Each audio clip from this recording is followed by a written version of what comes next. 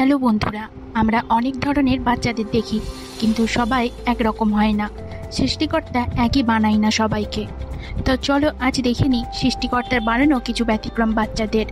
Number one দু হাজার আঠেরো সালের একটি বাচ্চা ভারতে অবস্থিত কস্তুরবা গান্ধী নামক একটি হাসপাতালে জন্মায়। এই বাচ্চাটি জন্ম থেকে হার্লিকুইন ইচথায়োসিস নামে একটি রোগ নিয়ে জন্মগ্রহণ করে। এই বাচ্চাটির জেনেটিক ডিসঅর্ডারের জন্য এর স্কিন খুবই মোটা হয়। এবং যার ফলে সারা দেহে ফাটল দেখা যায়। স্কিন মোটা হওয়ার কারণে এরা ঠিকঠাকভাবে হাত পা নাড়াতে পারে না।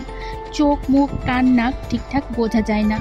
ঠিকঠাক স্কিন তৈরি করার জন্য A B C A twelve যে জিনগুলি দরকার তা এদের শরীরে অনুপস্থিত থাকে। নাম্বার টু ভারতে ঝাড়খণ্ডের রাজ্যে বাসিন্দা মোহাম্মদ কালাম, যার বয়স মাত্র আট বছর। যার হাতের সাইজ অনেক অনেক বড়। তার মা বাবার তুলনায় তার হাত অনেক বড়। তার এই হাত বড় হওয়াটা একটি রোগ যা জন্ম থেকেই হয়েছে এবং এই রোগটি ম্যাক্রোড্র্যাকলি নামে পরিচিত। তার হাতগুলি তেরো ইঞ্চি করে লম্বা এবং প্রতিটা হাতের ওজন সাত কেজি করে। তার এই এত বড় হাত নিয়ে সে কোনো কাজই ঠিকঠাকভাবে করতে পারে না। তার খুবই অসুবিধা হয়। নাম্বার থ্রি, বাংলাদেশের বাইজিৎ হোসেন খুব একটি দুর্লভ রোগে আক্রান্ত। যেই রোগটির নাম হয়তো আপনি এর আগে কখনো শোনেননি। উনি প্রজেরিয়া নামক একটি রোগে আক্রান্ত এবং এই রোগ যার হয় তাকে দেখে তার বয়সের তুলনায় অনেক বেশি বৃদ্ধ মনে হয়। এই বাইজিদের বয়স মাত্র নয় বছর, কিন্তু দেখে মনে হচ্ছে যেন পঞ্চাশ বছরের ঊর্ধ্বে তার বয়স।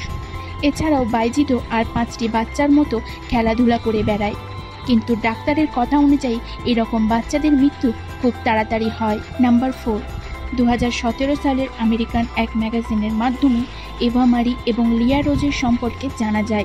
যারা ছিল যমজ বোন, এরা সাধারণত বাস করত আমেরিকার লস অ্যাঞ্জেলাসে।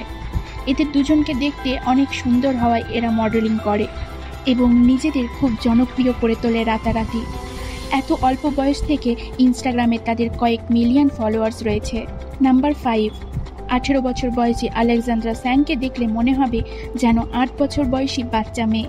কিন্তু তার শরীর গঠন একজন যুবতী মেয়ের মতোই। নাম্বার নাম্বার সিক্স ব্যাংককে বসবাসকারী সুপাত্রা সাসুফান, যে ছোট থেকে অনেক মানুষের কাছে তার নিজের নামের বদলে মাঙ্কি গার্ল বা হেয়ারি গার্ল নামে পরিচিত। কারণ সারা মুখে পায়ে তার চুল গজায়। এটি হয় জেনেটিক ডিসঅর্ডারের জন্য, যাকে অ্যাম্ব্রাস সিন্ড্রম বলে।